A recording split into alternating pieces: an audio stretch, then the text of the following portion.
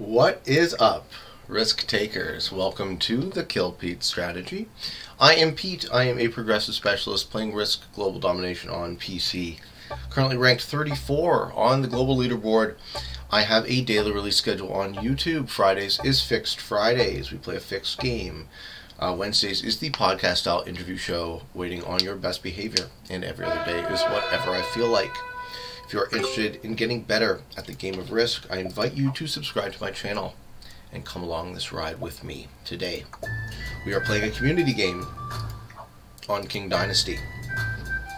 In the first position, we have Lithium Snake. Um, recently got in touch with this gentleman. Seems like a pretty cool guy. 170, 171 hours, 113 wins to 157 losses. In the second position, we have Klingsi flying the flag of Austria. And 280 hours with 30 wins to 104 losses. In the third position, we have Asylum the Crazy flying the flag of Antarctica. Hear this guy's a little nuts. Uh, 286 hours with 88 wins and 247 losses. Um, in the fourth position, we have Eichorn, and Eichorn is flying the flag of Germany with an almost even win to loss record in 43 hours. I'm in the fifth position, which I'm happy about. And in the final position, we have Suriya Gugantha.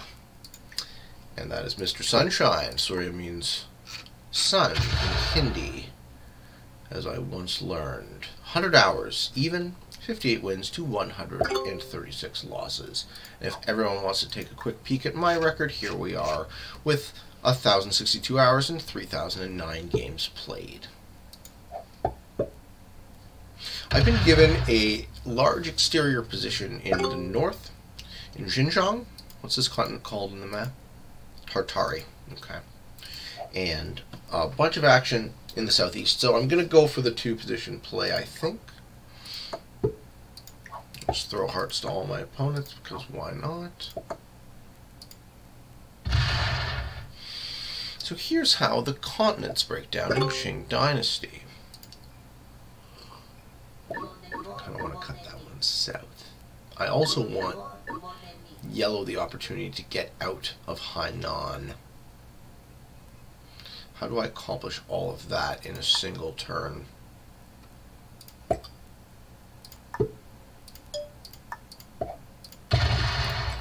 Okay, I'm going to give yellow the road out of Hainan like that and hope they take it.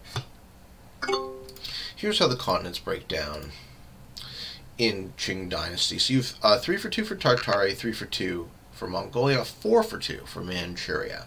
But you can guard Manchuria from three positions because it has Sakhalin Island. Is it called Sakhalin on the on this map? Called K Island. That must be what it's called in English. Um, the the northern part of the Japanese archipelago that's owned by Russia.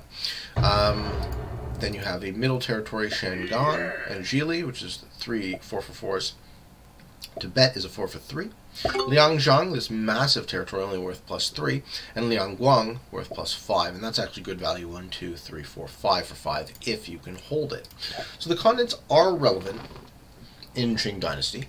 Um, if you can hold a continent, it's not a bad idea to try.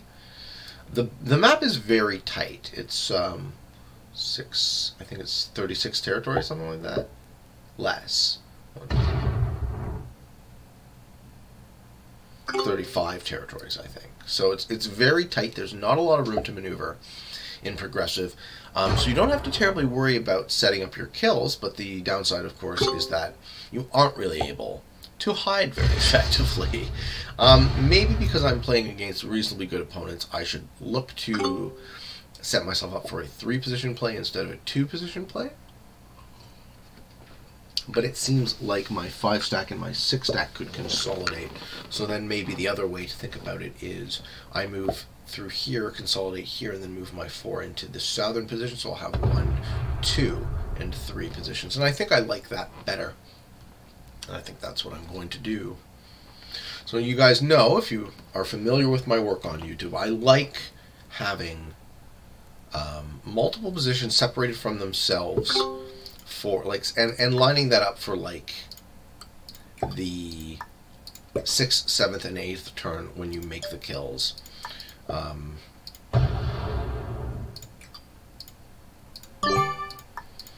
your job in progressive is to make kills. So that was his chance to get out of Hainan, and he failed. So now I have the monopoly on the kill on Lithium Snake. Um, and I'm probably going to sit there with a stack for the rest of the game.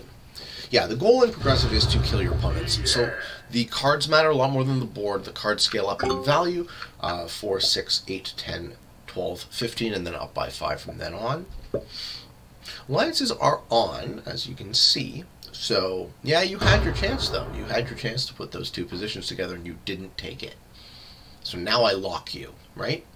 Now I lock yellow into Hainan, and we'll see what happens in the rest. It, it, it's it's good and bad. Kingsley says no, you can't hold Tibet. So so far, no one's holding continent, despite the alliances being on.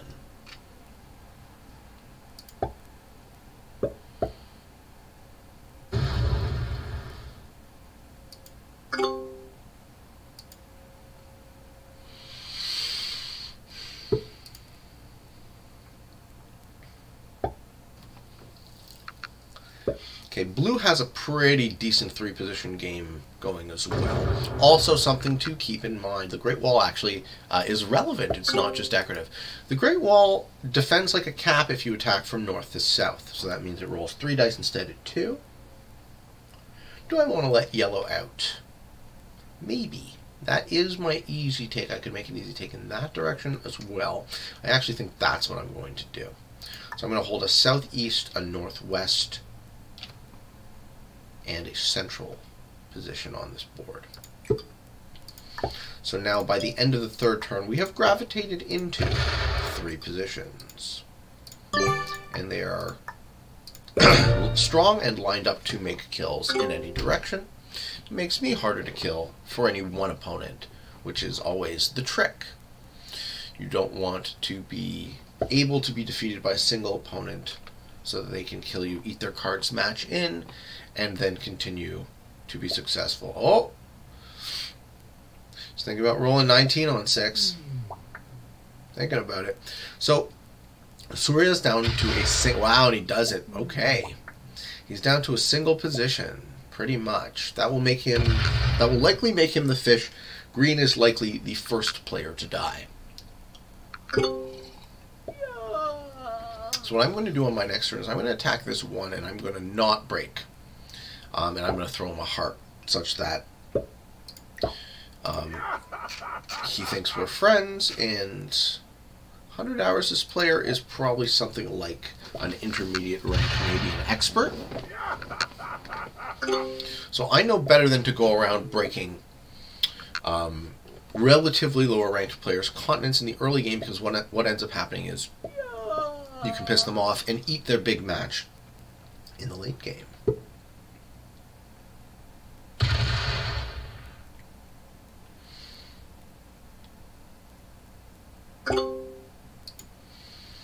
So Asylum has essentially three positions, but they're closer together than mine. Yeah, and he knocks off green. Yep. Okay.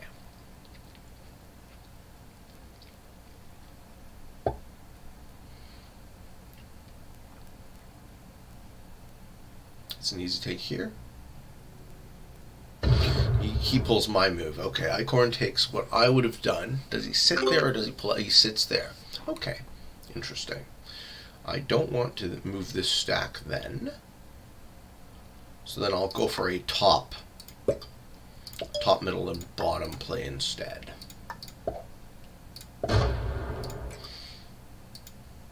And somehow I'm still preserving all of this territory. well played if you say so.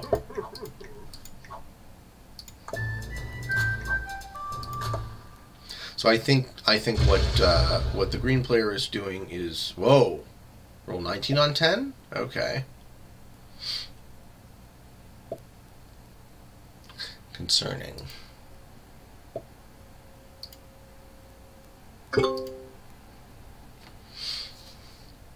Yeah, Lithium Snake says in the chat, green is insane. Lol. yeah, well, sometimes. You see all types. Lithium Snake in four positions. I have the five locked in Hainan. He has three mobile positions that he can make attacks from. And he'll be first to match. So now what's happening is we, at the end of the fifth turn, you hold five cards. You're guaranteed a match on five. So we're forced to match at the beginning of the sixth turn, assuming that nobody changes the order. I will get the second largest match, which I'm very happy with. I'd much rather get the 12 and the 15 over the 4.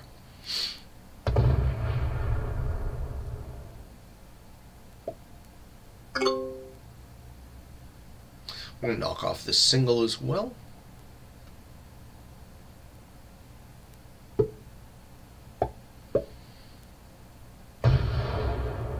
The only question is, do I let him out of Hainan? I think the answer is no.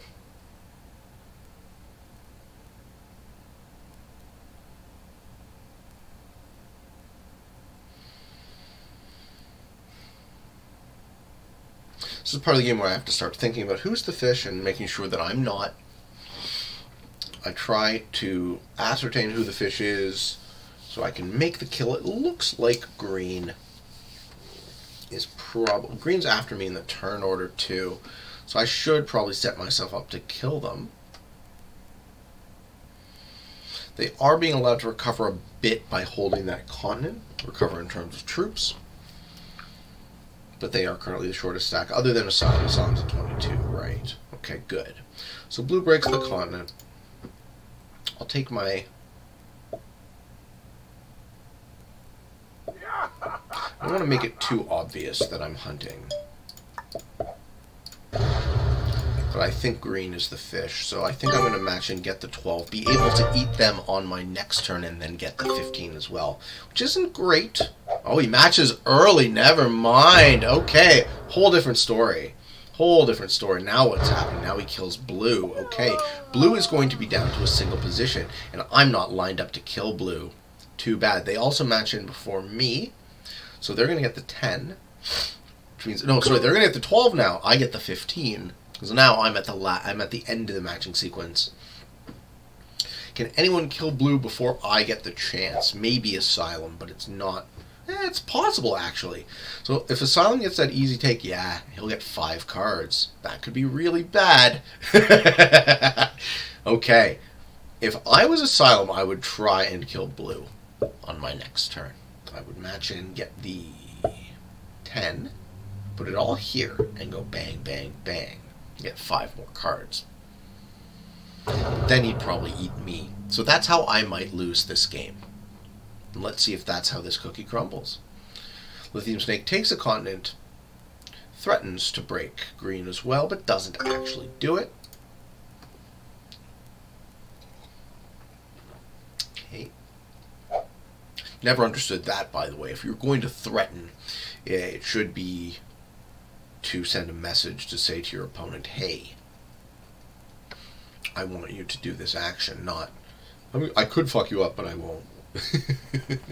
but that's just how I play. It's a stylistic choice, I guess. Okay, Klingsi puts in. Match point is 8, now 10.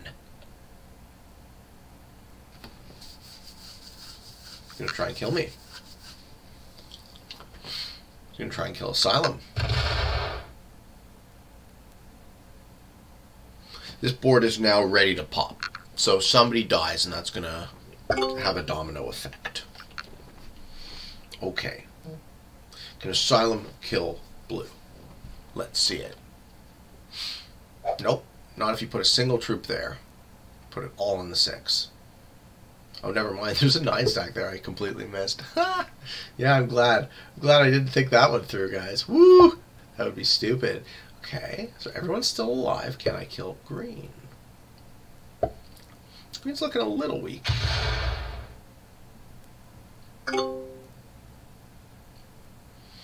Get two cards. No, it would cost me too much to get those two cards, I think. Unless Blue retaliates in anger, that will be cool to see. But he won't do it. He's not dumb.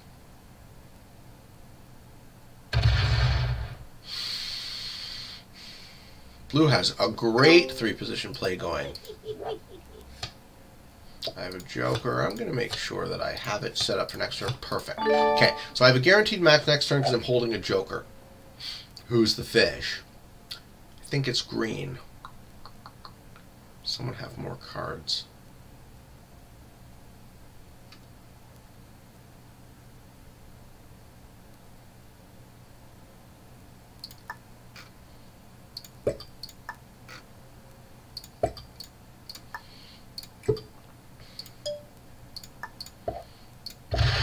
I'm going to sit in exactly the same position as I was in. Three central, 15 stacks. Ready to kill. I know I have a match lined up. Let's see who I can kill.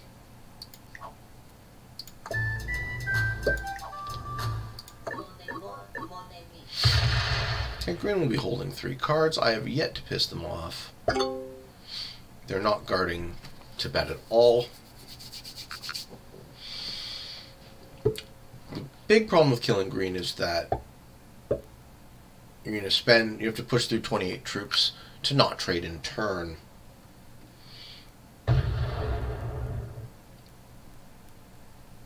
Let's see if anyone else makes my match point bigger. That might help. Okay, so Lithium Snake gives me a road to kill him, except for that position. I can't get there very easily.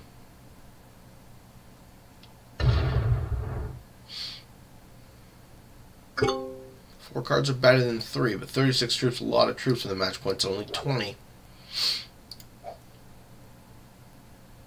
So now I'm torn, right? Now the decision is I know I have a match on three. Do I choose to not spend it?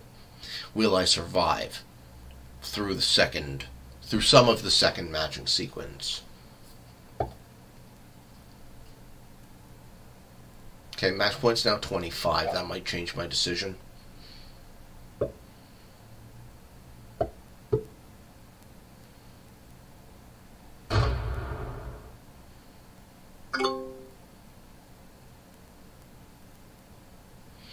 45 put in an additional 25, I think that's enough to take out Lithium Snake.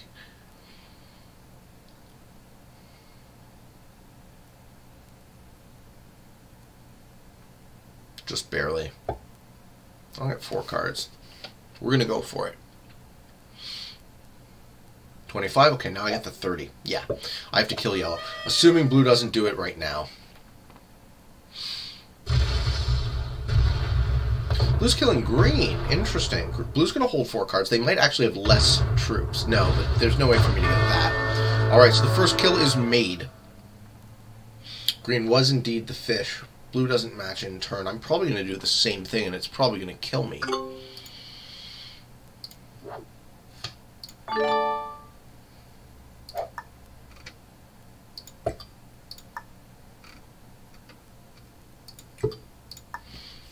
Let's see if I can survive.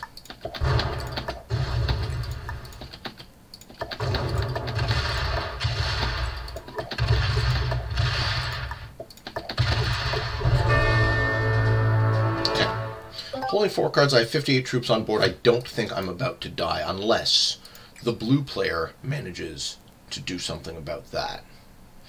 I want to free up my biggest army. I'm also good because my stacks are surrounded. So I'll be holding five cards. If someone can kill me, it's bad news baseball. But... Not Terran Asylum's laughing? Okay, cool. It's Klingsi put in. Klingsi able to kill me. Maybe. Maybe. Then I'll get the five. Then I'll match again. Can kill either me or blue. To be honest. I don't think I can win this game from this position.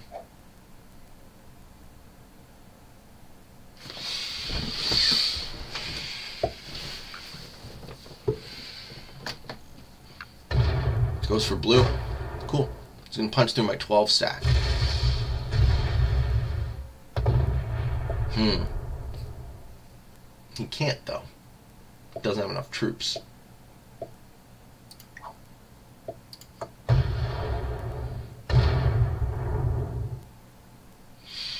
Alright. Asylum has a chance.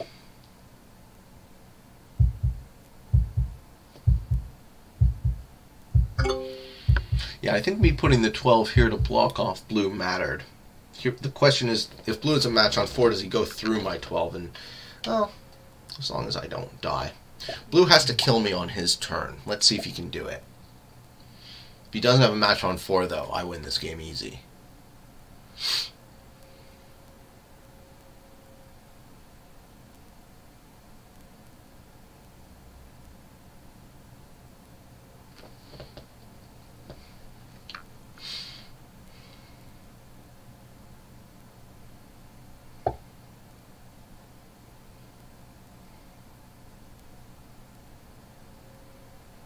Yeah, having your having reasonably large stacks at the ends makes it really hard for your opponents to have to split and get you. They have to do tough math. Asylum is consolidating in the center. Blue doesn't have a match on four, it's game. He does. Puts in the 40. Is the 40 enough to kill me? Maybe. It would be close.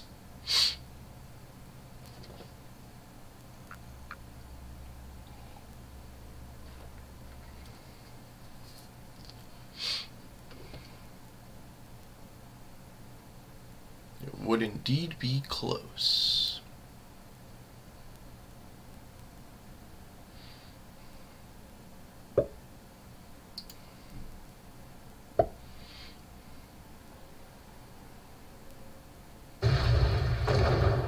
He's going for it. Nice.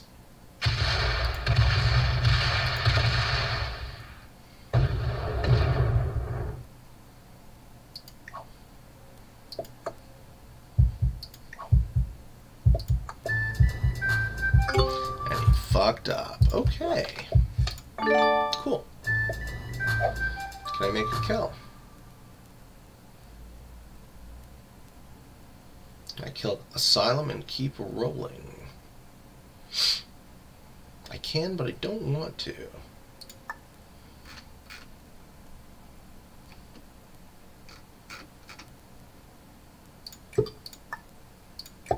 Two thirty sacks. Run around me, guys. Hmm.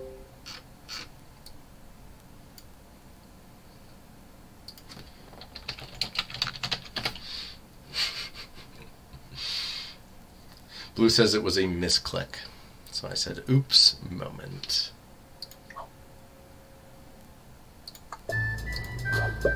Ooh, I got a match on three.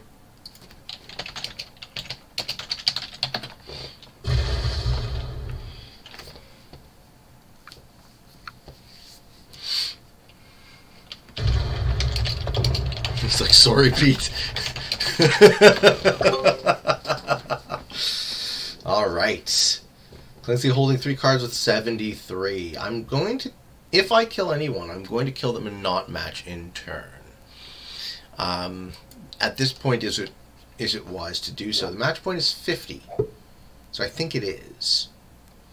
Like, if I kill somebody like the blue player, I'll be able to stabilize. I don't think either of them can kill me unless they have a lucky match. So, that's how we're going to do it. Assuming blue gets a single card, I'll take out his 50 troops with my lucky match. And I'll be holding three again. That's how we'll do it.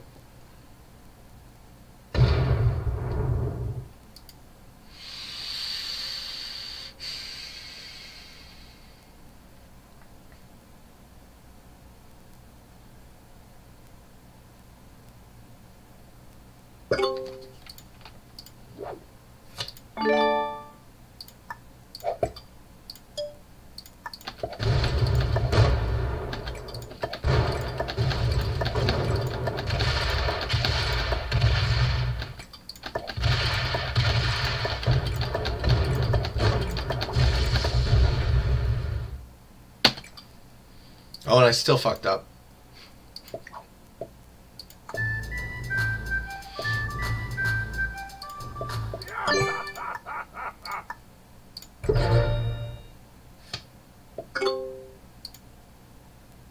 I I don't know what it is. I can't see that island. I can't see that island. That's so funny. Well, it's going to be hard for any of them to get that. So, That's funny. Twice now. Twice now I, I missed that fucking island.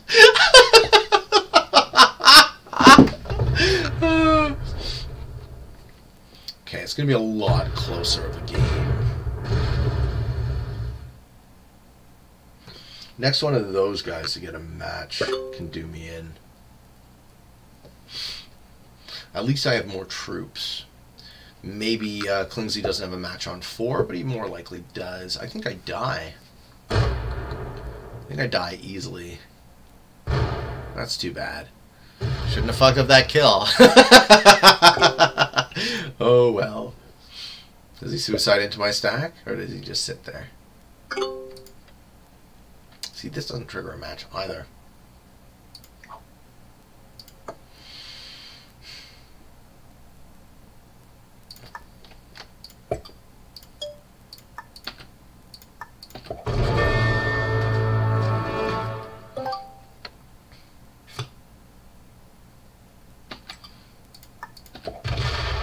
So what I'm doing now is I'm going to split my positions into three.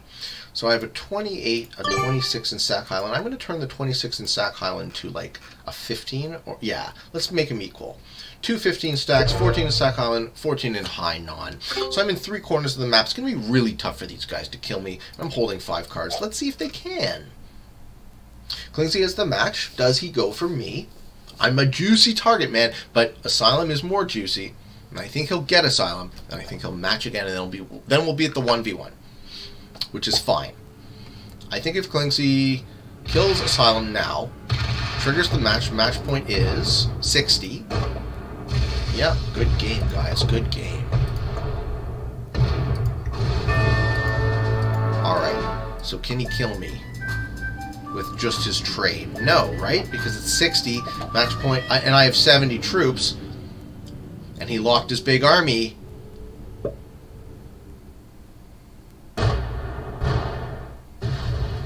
He doesn't have quite enough juice to kill me. Now let's see if he moves his stack. Because I can leave that trapped there too. Where do you move it? Here?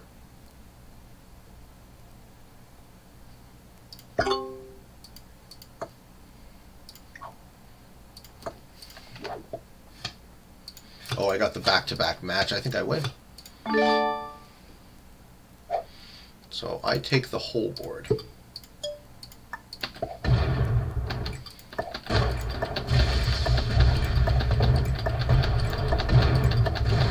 Knowing that I have a match next turn. This is a great game. I'm glad, it, I'm glad me fucking up like that didn't uh, make me lose.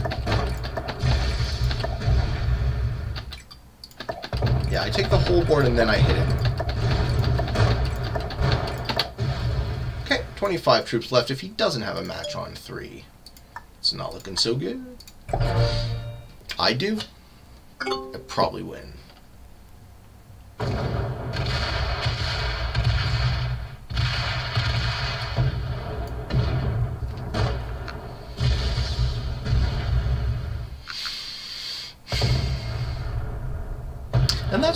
Guys. I hope you uh, enjoyed this video.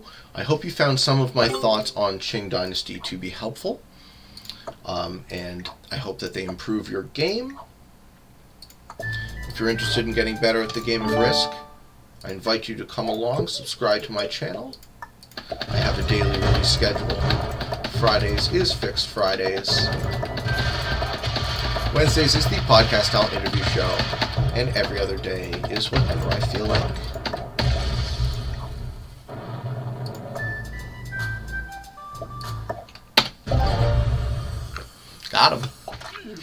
Better lucky than good, right?